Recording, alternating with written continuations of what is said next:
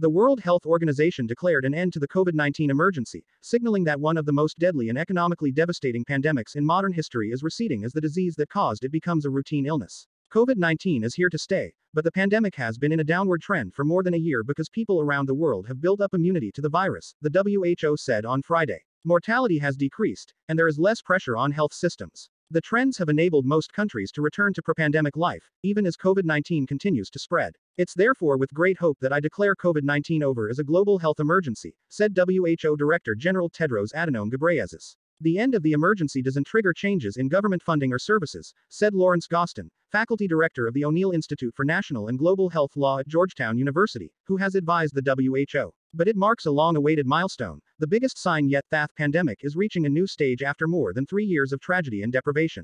The Biden administration is investing $5 billion to speed development of more effective vaccines and treatments for coronaviruses,